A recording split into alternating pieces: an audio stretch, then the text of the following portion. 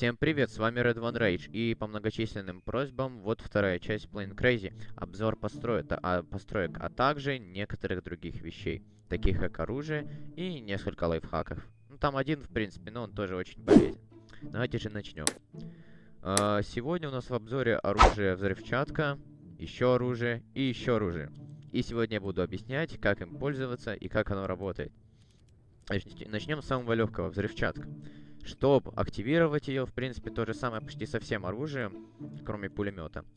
Ну, так вот, начнем же. Чтобы активировать ее, мы нажимаем левой кнопкой мыши на блок взрывчатки, который вы поставили заранее.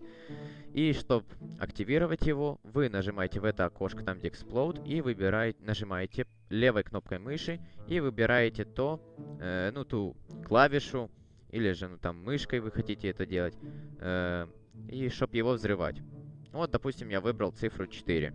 И когда я запущу в эту постройку и, и нажму цифру 4, то оно взорвется. То же самое с этим блоком. Они просто другой, разной формы. Значит, идем дальше.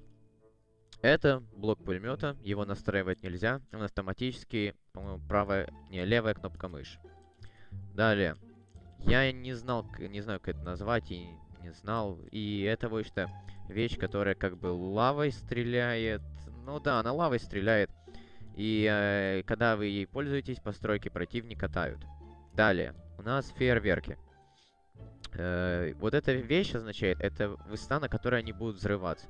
То есть 12, это 12 блоков, я так понял, с этого момента. Ну, или дальше, там, там надо смотреть. Ну, там можно, в принципе, по ощущениям угадывать, то есть я вам покажу. Они взрываются, как только это расстояние заканчивается. Ну, ракет тоже лишь легко. Э, чтобы активировать ее, нажмите, ну, цифру выберите. Close tracking это означает, что она будет э, трассировать, ну, противника, то есть она будет лететь за постройкой противника. Ну, в целом все достаточно легко и просто. Ну, я не пробовал без этого, но так она, в принципе, летит за постройкой противника. И у нас есть также э, резаки, катер это резак. Э, Self-protection означает, что оно не будет свои же постройки ломать и все такое. Ну, я так понял. Давайте же я вам покажу, как это все работает. Значит, садимся в импровизированную машину. Допустим, подъезжаем к этой стене. И чтобы начать ее резать, ну вот, начинаем, вот так вламываемся в нее. Давайте вам покажу. Или не покажу. Ну, нет построек противника, которые я, на которых бы я мог показать. Ладно, идем дальше. Э ракеты легко, понятно, активируем на цифру 1. Ну, я так все забиндил. Чтобы активировать фейерверки, нажимаем цифру 2. Вот они здесь. Можно много выпускать фейерверков, и они будут взрываться именно вот на таком расстоянии, если 12 блоков. И также, ну, магмовая вещь, потому что она выпускает магму. Но, правда, ее больше, по-моему, нету, потому что она была на ивенте. Ну и что вот как она работает. Пускает магму, и блоки противника тают. А, далее, пулемет на правую кнопку мыши. Ой, левую точнее на левую. На правую он не работает. На левую, да, работает.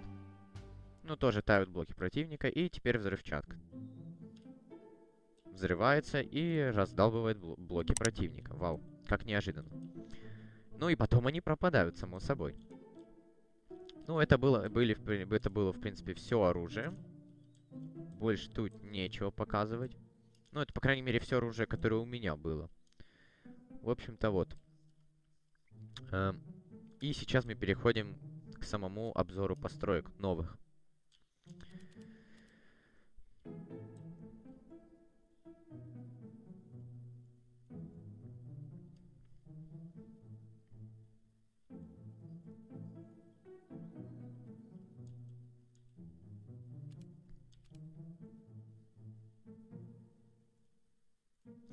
Значит, первая постройка, которую сегодня буду показывать, это вещь, которая просто ловит, как бы, вещи противника, да.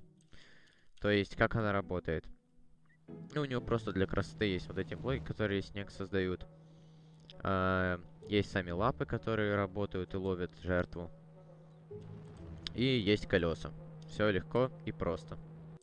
Вот, меня сейчас подорвали, я покажу все, когда эта вещь развернется. Э, в принципе, принцип работы очень простой. Э, тут все понятно. Так, а ну... ну да, вон он вышел, теперь можно. Вот мы сняли ее как бы с тормоза. раздвигаем лапы, и оно ловит противника. Вот и все. В целом, другого смысла у нее нету, это просто всякая рандомная вещь. Идем дальше. Далее у нас большой самолет. Очень большой самолет, который почти что неуправляемый, но в то же время управляемый. Я пытался раньше построить э, самолет из реальной жизни, но не очень получилось, как видно, но он летает. Давайте покажу.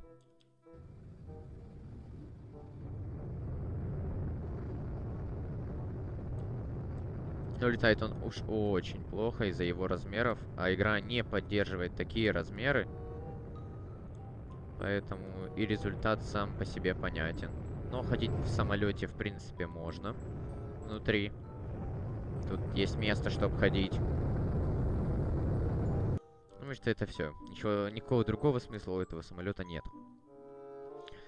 Далее, есть вот эта постройка, которая, ну, просто дрифткар но дрифтит уже очень сильно. Вот посмотрите на это. Как вы это назовете еще? Это же просто дрифт. Э, далее. У нас есть бомбардировщик. Который... Ну, это как бы вертолет из прошлой серии, но немного модифицированный. То есть, сейчас покажу. Вот вы взлетаете, берете эту вещь. Там я не помню, как отцеплять, но что эта вещь отцепляется и подрывает вы что противника. И там очень большой взрыв. Ну вот. Достаточно... Ну, еще можно катапультироваться, как все знают. Но дело в том, что оно создает большой взрыв и много чего лагает. Потому что здесь примерно 200 блоков. Эм, взрывчатки, и по, именно по этой причине оно все лагает. Далее. Э, можно сказать, это лайфхак. Как построить, в принципе... Сейчас я вам покажу, где я использовал этот механизм. Эм, вот сам, короче, сама постройка. И я сейчас вам покажу, где я использовал этот механизм. Спускаемся пониже. И спринтим вот до сюда. Значит, иногда э, большие постройки не помещаются. И именно по этой причине надо использовать этот механизм. Тогда с тобой постройку можно сделать больше. Вот где он использован. Э, и сейчас я вам покажу на деле. Вот я его забиндил вот так. В целом все рабочее. Самолет тоже рабочий. Сейчас на воде покажу. Значит, просто на этом же э, авианосце импровизирован. Как бы это и есть авианосец, но кого это волнует, боже. Эм, есть самолет, который летает и тоже сбрасывает бомбы. Значит, вот как работает. Это, эту вещь можно использовать, опять же, для постройки больших построек. И вот, после того, как я раскрутил эту вещь, механизм, у нас появился большой авианосец, который бы не поместился в маленькой строительной, э, так сказать, коморке, которая нам дается с самого начала. Давайте уберу якорь. И мы поймем, что самолет оригинал застрял в авианосце. Ну, что этот самолет тоже летает, все здесь работает. И далее. Кстати, это самая большая постройка, которую я делал вообще. У нее 1200 блоков. Есть, конечно же, вот это.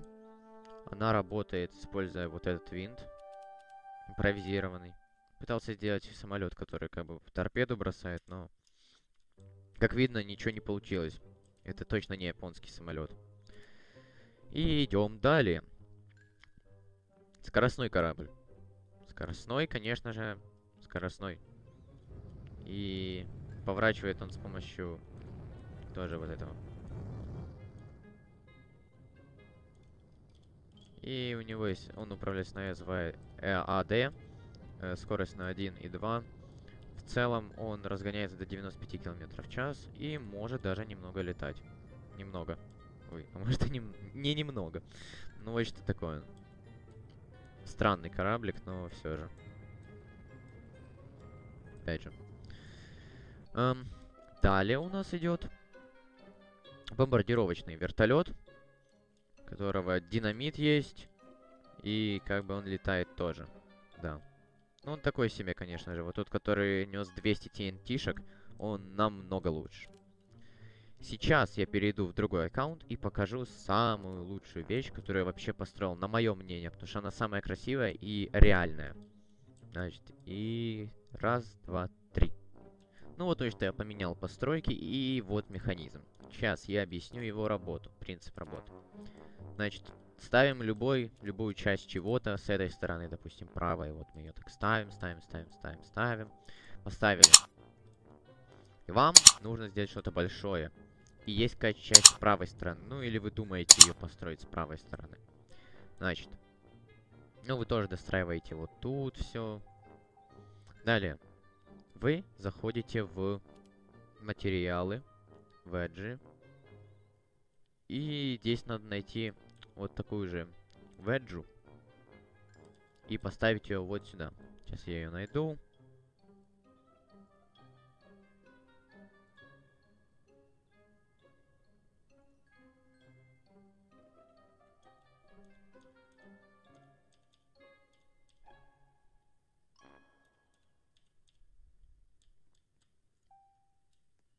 Ну, даже не обязательно вот такую надкушенную.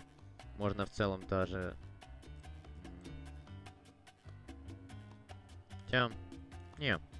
Надкушенную, наоборот, вам нужно не находить. Она не подходит. Вам надо найти именно вот такого типа. Почему? Да потому что не состыкуются части вашей постройки. Поэтому... Сейчас мы найдем ее. На это может уйти некоторое время.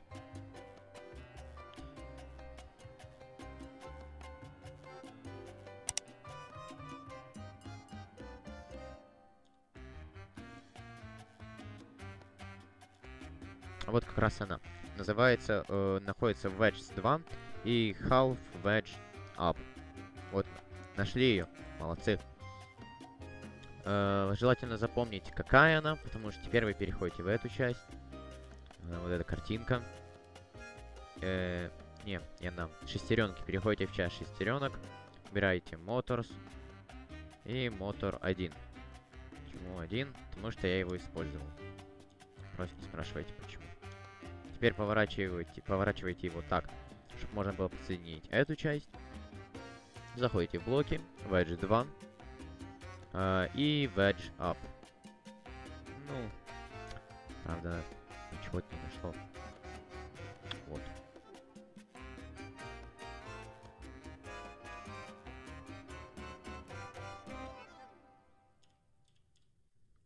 Текс.